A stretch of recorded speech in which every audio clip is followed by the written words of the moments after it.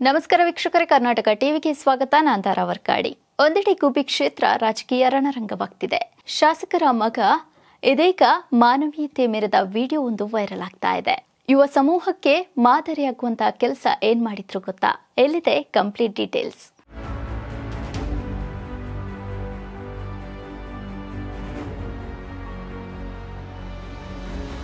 ಗುಬ್ಬಿ ಕ್ಷೇತ್ರದಲ್ಲಿ ಒಂದು ಕಡೆ ರಾಜಕೀಯ ರಣರಂಗ ಜೋರಾಗಿದೆ. ಈ ನಡುವೆ ಗುಬ್ಬಿ ಶಾಸಕ ಶ್ರೀನಿವಾಸ್ ಮಗ, ನಟ ದುಷ್ಯಂತ್ ಮಾನವೀಯತೆ ಮೆರೆದಿದ್ದು ಯುವ ಸಮೂಹಕ್ಕೆ ಮಾದರಿಯಾಗಿದ್ದಾರೆ.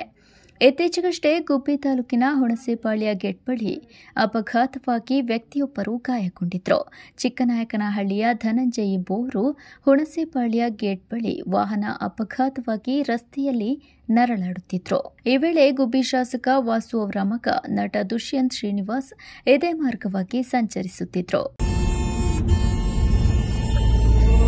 ಘಟನೆ ನುಡಿದ ಕೂಡಲೇ ತಮ್ಮ ವಾಹನ ನಿಲ್ಲಿಸಿ ಗಾಯಾಳು ಧನಂಜಯ ಸ್ಥಿತಿ ಗಂಭೀರವಾಗಿರುವುದನ್ನು ಗಮನಿಸಿ ತಮ್ಮದೇ ಕಾರಿನಲ್ಲಿ ಆಸ್ಪತ್ರೆಗೆ ಕರೆದೊಯ್ದರು. ತಮ್ಮ ವಾಹನದಲ್ಲೇ ಚೇಳೂರಿನ ಪ್ರಾಥಮಿಕ ಆರೋಗ್ಯ ಕೇಂದ್ರಕ್ಕೆ ಕರೆತಂದು ಪ್ರಾಥಮಿಕ ಚಿಕಿತ್ಸೆಗೊಳಿಸಿದ್ರು ನಟ ದುಷ್ಯಂತ್. ಬಳಿಕ ಡಿಎಚ್ಒಗೆ ಕರೆ ಮಾಡಿ ತುಮಕೂರು ಜಿಲ್ಲಾಸ್ಪತ್ರೆಯಲ್ಲಿ ತುರ್ತು ಚಿಕಿತ್ಸೆ ನೀಡಲು ಸನ್ನದ್ಧರಿರುವಂತೆ ಸೂಚಿಸಿ ಚೇಳೂರಿನಿಂದ ತುಮಕೂರು ಆಸ್ಪತ್ರೆಗೆ ಕರೆತಂದರು ಧನಂಜಯ ಅವರಿಗೆ ಸೂಕ್ತ ಚಿಕಿತ್ಸೆ ದೊರಕುವವರೆಗೆ ಅಲ್ಲಿಯೇ ಇದ್ದು ಧೈರ್ಯ ತುಂಬಿದ್ರು ದುಷ್ಯಂತ್ ಶ್ರೀನಿವಾಸ್. ತುಸು ಚೇತರಿಸಿಕೊಂಡ ನಂತರ ಯಾವುದೇ ಸಹಾಯ ಬೇಕಿದ್ದಲ್ಲಿ ಕರೆ ಮಾಡುವಂತೆ ದುಷ್ಯಂತ್ ತಮ್ಮ ಮೊಬೈಲ್ ನಂಬರ್ ಅನ್ನ ಗಾಯಾಳುವಿಗೆ ನೀಡಿ ವೈದ್ಯರ ಜೊತೆ ಮಾತನಾಡಿ ತೆರಳಿದ್ರು. ಬಾಯಲ್ಲೆಲ್ಲ ರಕ್ತ ಬರ್ತಿತ್ತು ಅಷ್ಟೊತ್ತಿಗೆ ಸರ್ ಬಂದು.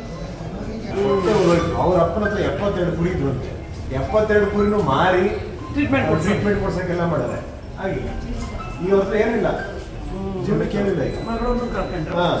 ಅಲ್ಲಿ ಇದು ಡಿಸ್ಟ್ರಿಕ್ಟ್ ಹಾಸ್ಪಿಟ್ಲಿಗೆ ಫೋನ್ ಹಾಕ್ಬಿಟ್ಟು ಡಿ ಒ ಇವರು ಡಿ ಎಚ್ ಫೋನ್ ಹಾಕ್ಬಿಟ್ಟು ಇವರು ಪೇಷಂಟ್ ಬರ್ತಾ ಇದ್ದಾರೆ ಅಷ್ಟೇ ಅರ್ಜೆಂಟಾಗಿ ಅಟೆಂಡ್ ಮಾಡಿ ಶಾಸಕ ಶ್ರೀನಿವಾಸ್ ಅವರ ಮಗ ದುಷ್ಯಂತ್ ಕಾರ್ಯಕ್ಕೆ ಇಡೀ ಕ್ಷೇತ್ರದ ಜನ ಮೆಚ್ಚುಗೆ ವ್ಯಕ್ತಪಡಿಸಿದ್ದು ದುಷ್ಯಂತ್ ಮಾನವೀಯತೆಗೆ ಫಿದಾ ಆಗಿದ್ದಾರೆ.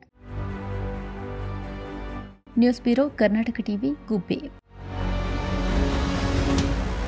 ಇದಾಗಿತ್ತು ಈ ಹೊತ್ತಿನ ವಿಶೇಷ. ಮತ್ತಷ್ಟು ವಿಶೇಷ ಸುದ್ದಿಗಳೊಂದಿಗೆ ನಾನು ನಿಮ್ಮ ಮುಂದೆ ಬರ್ತೀನಿ.